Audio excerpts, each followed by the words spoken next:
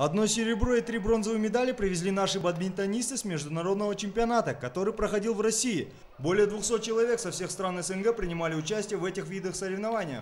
Выступили очень хорошо, учитывая, что это первый их опыт участия в таких международных соревнованиях.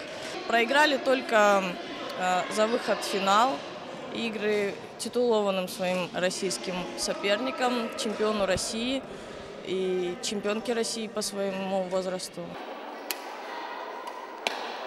Несмотря на свой юный возраст, Асель Тлемисова является кандидаткой в мастера спорта и заняла на чемпионате второе и третье место.